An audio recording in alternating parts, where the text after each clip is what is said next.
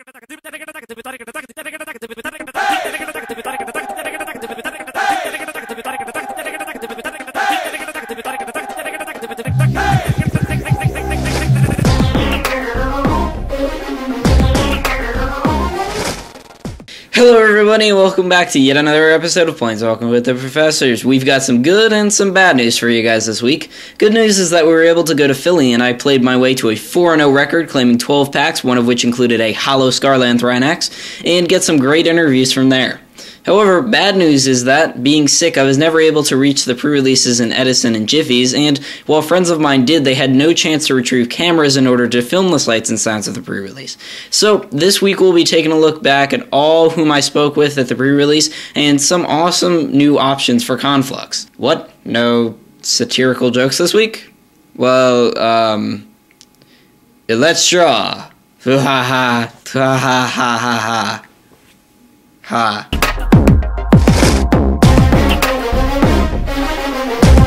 So, while I still very much dislike Sealed Deck for the major fact that I feel that getting a bunch of bombs, the game is just over for the person at the other side of the table. After crunching the numbers, I'd like to redefine my statement and state that sealed deck is considerably less luck for the fact that running 5 color and shards conflux sealed is so viable and cards like, heck, I'll say it, Obelisk of Alara allow for the amazingly great use of a slower yet more masterfully played sealed deck environment. For the sealed deck I built for the pre-release, I can't possibly say I lucked out on limited bombs. I mean, Sure, I got a Spearbreaker Behemoth, Martial Coup, and Magister Sphinx, but I never drew the Martial Coup, never got a chance to actually cast the Spearbreaker Behemoth, and the total of two times when I actually stuck the Sphinx, it made so little difference in terms of combat and in terms of life total, usually brought my opponent up life or me down. I can't say I got some uber removal suite. I mean, Fiery Fall, Bant Charm, Agony Warp, and Lapse of Memory are nice, but out of the combined 274 cards to be pulled from Conflux and Alara, about 60 of them are removal considered to be viable, which means that these pulls were quite average. However, something noticeable about the deck is that it can trigger so many things at instant speed.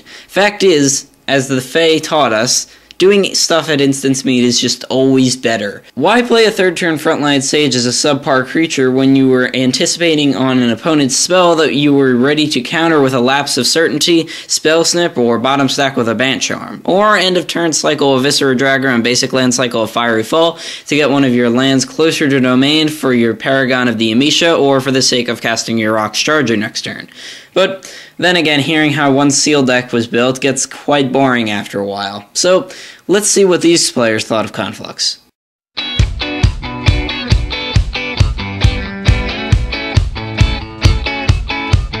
Well,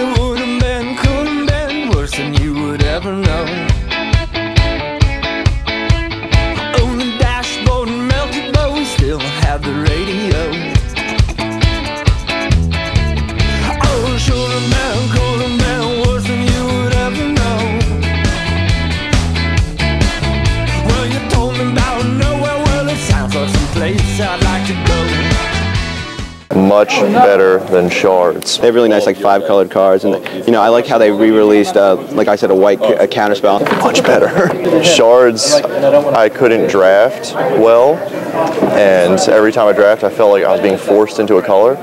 Conflux, I drafted once yesterday, had a time of my life, drafted whatever I wanted. I could do an aggressive deck. I couldn't do that in shards. Like I had a deck where I just dropped all those one-one flying exalteds, teamed up with the one-one exalteds, and I was I was real happy with that. I think it's a really cool set. Interesting rares, a lot of play, playable cards. Uh, Child of Alara, I think is like really ridiculous. Um, Path of Exile is going to be played in ev- every format you know that there is. That's a nice, de- nice um, set of cards.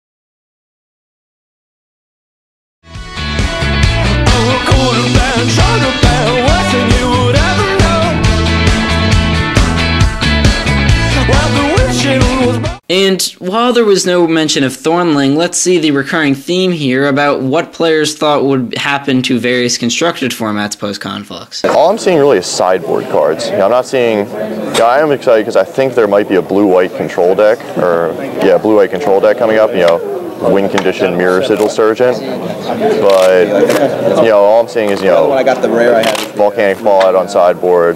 Banefire is going to be a main deck. I think the new like Wrath of God that you that's like a decree of justice plus wrath. I think that'll be com- played in like a control style deck. And Volcanic Fallout, that is just unbelievable. That's one of my favorite cards. Well- that and the uh, Noble Hierarch, the band L. Yeah. No, I don't think so. I think people are still going to play fairies. I think fairies are still going to be powerful enough to play. Yeah, that's going to be. Path of Exile is going to be uh, everywhere. in every format. Um, next week in Bluebell, there's the Type 1 tournaments. Everyone is talking that's playing white is taking out Swords to Plowshares and putting them in. There's not many, not many decks are playing like um, basic lands in them, like one or two. So it's completely ridiculous because with the um, Swords to Plowshares, you give your opponent another turn, pretty much, you know, by the, the life gain. Dashboard melted, but we still have the radio. Hardwired to conceive so much we had to stow it. Even needs have needs tiny Johns made tiny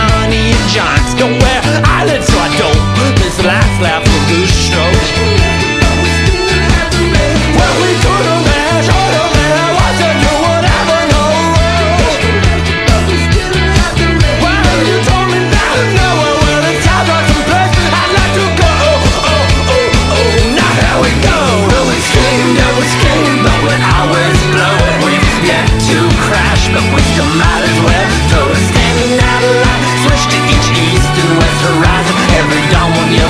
In the evening. See, it wasn't quite as bad as I would have been, could have been, you would ever know. So until next time, this is the Car Professor tapped out for now, but we'll be back soon.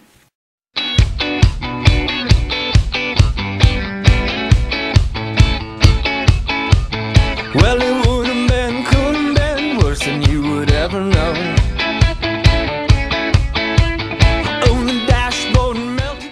Professors is brought to you by TrollandToad.com, MTGMintCard.com, CardHoarder.com, and Jiffy's Photo and Baseball Cards. Shards of Alara is here and known, and it looks extremely tasty, so have your mouse on the order button at TrollandToad.com, MTGMintCard.com, and CardHoarder.com, or support the show and head on down to Jiffy's Photo and Baseball Cards today.